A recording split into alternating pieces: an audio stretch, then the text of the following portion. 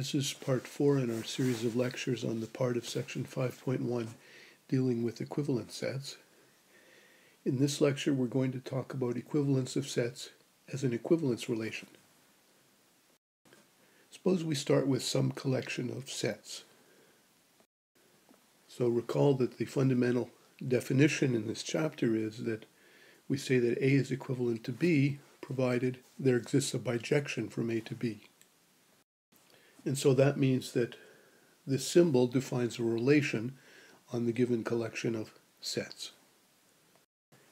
So what we wish to do in this lecture is show that that is in fact an equivalence relation. So what tools do we have that we can make use of in order to show that it's an equivalence relation? Well, I collect the tools that we're going to use in this theorem, and these are all results that we've seen in the chapter on functions. So the first one says that if A is any set, and we let I sub A represent the identity function from A to A, it's the function that maps each element to itself, then that is in fact a bijection. The second one says that if you have two sets and you have a function from A to B, which is a bijection, then F inverse, which always exists as a as a um, relation, but it's not normally, in fact, a function. Um, in this case, it is a function, and it's also a bijection. So one can only say that if the original function f is a bijection.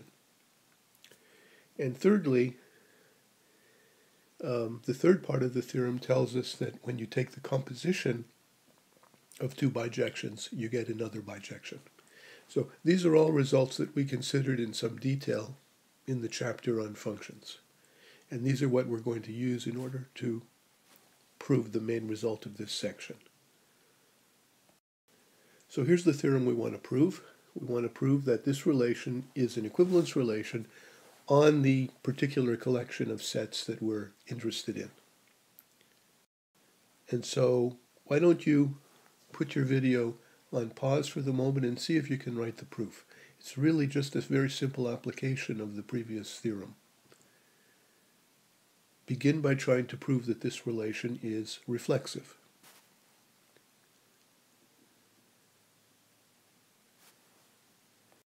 Well, here's my proof that it's reflexive. You give yourself any set from the collection, and you have to prove that it's related to itself. Um, and for that purpose, you just make use of the identity function on A. The identity function is a bijection from A to itself, and therefore A is equivalent to itself. And that proves that the relation is reflexive. Now see if you can prove that it is symmetric.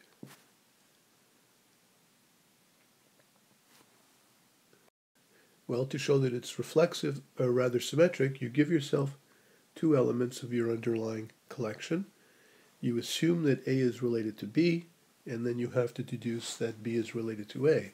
Well, to say that A is related to B is to say that there exists a bijection from A to B.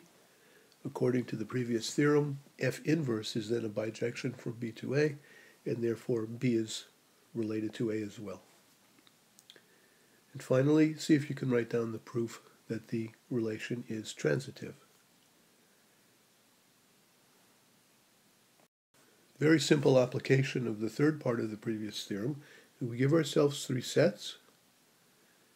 We assume that A is related to B, and B is related to C, and you have to deduce that A is related to, to C. Um, so this one implies that there exists a bijection F from A to B. This one that there exists a bijection from B to C. And we have to deduce that there exists a bijection from A to C and for that purpose, we just use the composition F composed with G. According to the previous theorem, that is a bijection from A to C. Well, that completes the proof that this is in fact an equivalence relation. So it follows that by the equivalence class theorem, the given collection of sets that you started with, no matter how big it is, it can be partitioned into um, distinct equivalence classes. So basically what's happening is you're taking all of the sets in your collection and you're identifying the ones that have the same cardinality.